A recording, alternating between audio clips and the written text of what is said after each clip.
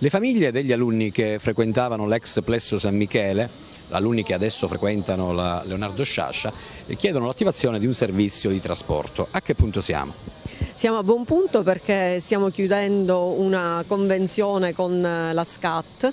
Eh, l'amministrazione aveva in un deposito uno scuolabus che da anni giaceva inutilizzato, abbiamo fatto fare eh, tutte le opere di manutenzione ordinaria e straordinaria perché potesse eh, ritornare a essere utilizzato e lo abbiamo affidato alla SCAT proprio perché mh, mm, potesse avviare questo servizio che speriamo di avviare se non la prossima settimana settimana sicuramente speriamo prima di, delle festività natalizie e poi eh, affidarlo alla quotidianità eh, da, da, gennaio in poi con la ripresa scolastica, quindi stiamo chiudendo questa convenzione con, con la SCAT. Quindi possono stare tranquilli? Stiamo lavorando, possono stare tranquilli che siamo al lavoro anche per loro.